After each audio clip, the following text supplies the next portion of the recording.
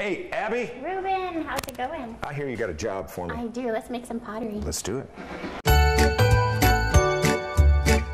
Okay, so this is what I do. Okay. Uh, I make pottery for the table. A lot of it is really inspired by my family and stories of us growing up around the table. This is beautiful stuff. Thank you. So the first thing that you need to do is wedge your clay, and it's a little bit like kneading the dough when you're baking. So basically what I'm doing is I'm moving the clay around to get the air bubbles out. Can I try? Yeah, let's do it. So when you go down, I already did it wrong. no, you're fine. Instead of pushing down, you're gonna like move to the center. Oh, okay. So move almost this motion. Got it, got it. So you want it to look kind of like a bull's head. Right. That's the shape you're going for. There you go. This is not easy. Burns a lot of calories, people. You got strong hand muscles.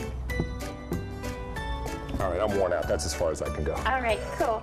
All right, step two you go. Let's let's two. move on to the next part. All All right. right. What do we do? Do I sit or Yeah, who sits? You jump Me? on the wheel, sit in the bench. It's gonna get a little messy.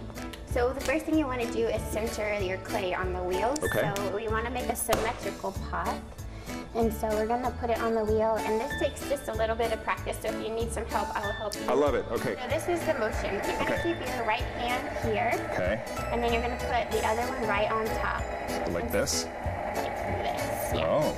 And so this hand is going to kind of be moving in. Right. The important thing is you want to make sure your elbows are really pressed into your thighs. So that's Elbows where into you're the gonna thighs. Get your power from. Okay. And then you're And I just screwed it up. It just went nuts. Okay, here we go. And speed up just a little more on your pedal. Whoa. We're going to do one more. Let the pro do it.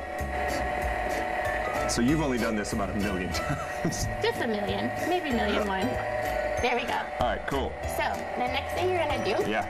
is you're going to take this middle finger on your right hand. You're right-handed, right? I am right-handed. Okay, cool. Okay. So you're going to start to, and just always keep your hand supporting. Okay. You're going to start to go right down in the middle and make a hole. Keep it going. Because what we're going to do is we're going to open this rim all the way up so we can start to see the shape a little more. How's that? Keep going. This is so much harder than it looks. so I go like that. Huh? And you're going to pull all the way through, and that's what releases it from, this is called a bat. Perfect. Yes, sir.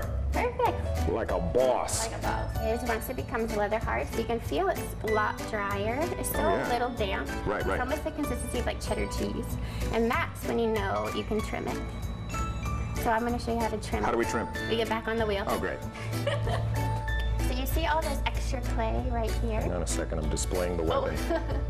Let's do it. Cool. And you see, put a little more pressure. It's supposed to kind of peel like an apple peel.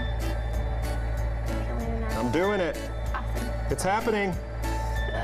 How long did it take you to learn this? This craft, this skill, this this art form. I've been doing this about seven or eight years. You're always learning, keep always learning, still learning new stuff, huh? Yeah. Wow, it's amazing. I could never do it, but uh-huh. it's incredible to have a good teacher. All right, last step, Ruben, we're gonna glaze. So Love it. grab that bucket for me. And you're actually gonna use, use a power drill. Oh yeah, see? This is the part I like. All right. Is that too fast? No, that's perfect. Are you sure? Yeah. All the way Oh, move. Okay, Yeah. now you're telling me. Obviously, our cup won't be ready for another day, but this is the glazing Yeah. process. So what so do we you're do? gonna grab this little guy. This is a little test piece I'm gonna put in the crown. All right. You're actually gonna use these tongs. So basically, you wanna actually really scrub. So you see how I'm Oh, look at off. that. So just scrub it off. Perfect. The whole thing or just the part that touches the bottom? You can do the whole bottom. So the last thing you're gonna do is you're gonna sign it.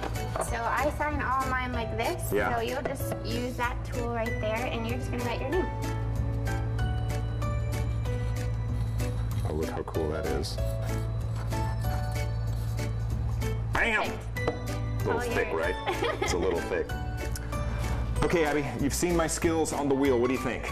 Well, you did a good job, but I might leave it up to the pros. And that would be it. Thanks for letting me come by. Thanks, Ruben. You got it.